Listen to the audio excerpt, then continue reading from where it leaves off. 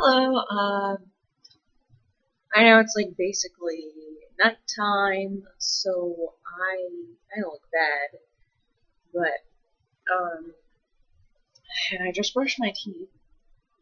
So and uh, but I'm eating these cookies anyway and drinking almond chocolate milk anyway. It tastes so good and it helps the toothpaste taste to kind of go away. And I like that because it makes me think that I still have toothpaste in my mouth and I, I don't like that. It bothers me. So, and you might be hearing a lot of stuff in the background, so you might not be hearing me very well. But I just wanted to film a video. Okay, it's, it's gone. Um, I just wanted to film a video today like a book review kind of thing about this book that I just just finished like a few minutes ago. Driver's Ed. Well, not a few minutes ago. It was like half hour ago, probably.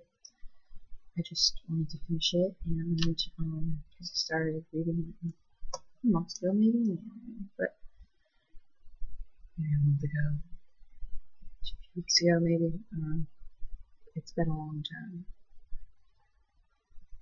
I just wanted to finish it. So I was watching Practical Magic and I just wanted to uh, finish this book. I paused the movie for a few minutes to finish the last like four pages of the book. So, um, it's a crazy book. I don't even know how to talk about it all in a short video because I want this to be like six minutes under. It's already almost two.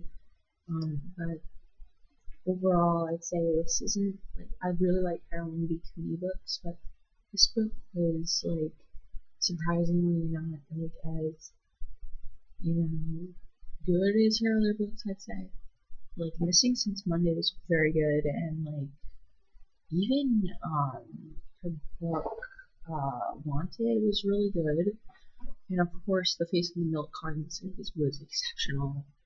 I really liked that. And,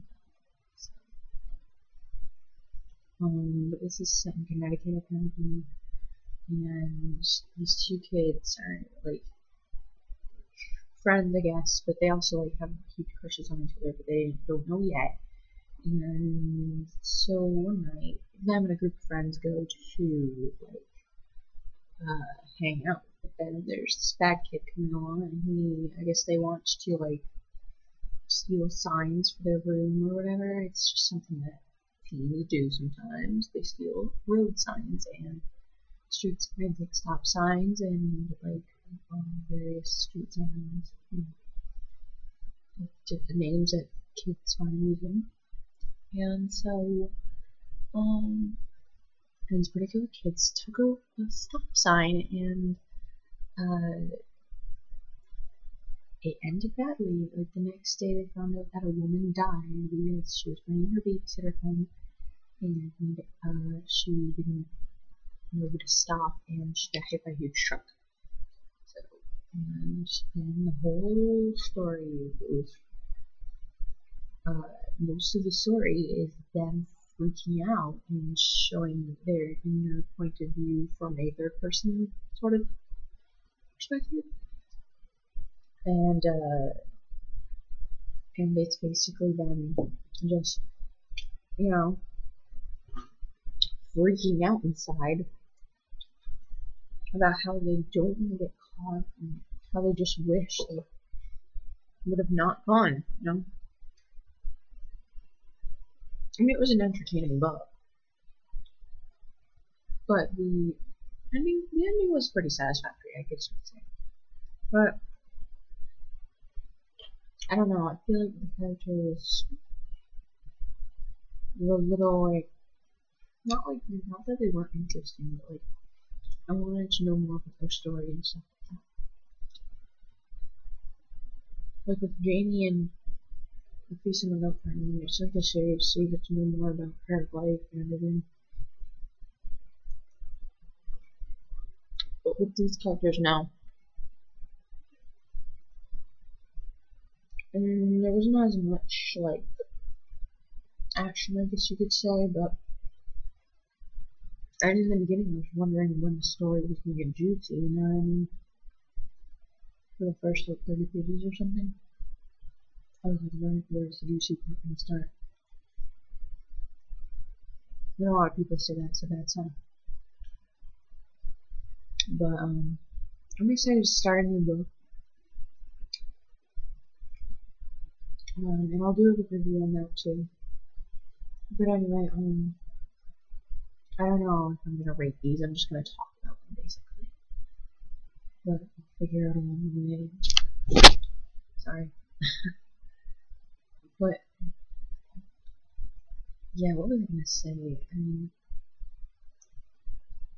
um, it's just really um, kind of. I mean, it had the same kind of theme that Caroline B. Tends to take on, kind of like teen mischief sort of thing, or like um, kind of scary things like after people sort of thing, like kind of like mm, worst nightmare kind of thing. So not like horror, but like, it has a lot to do with like driving, um, illegal stuff a lot of time her and people going missing and stuff like that. And it's interesting stuff. But, um, yeah, I guess this one wasn't as good as some of the others I've read. I mean, normally I don't like that stuff because it's kind of scares me or whatever, but it's also very interesting.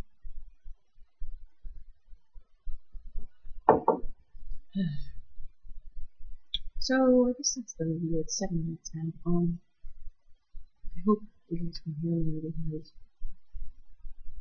I mean this is one of my shortest videos yet, vlogging and stuff, and uh, yeah,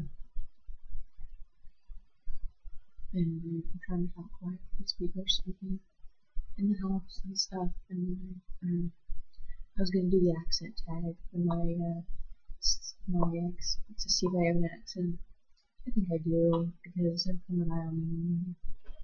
I know there's a lot of accental stuff that goes on. I must say so. Yeah. Excuse me.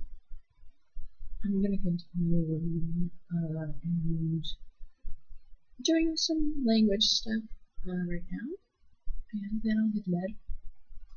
So thank you for watching. Have a good night.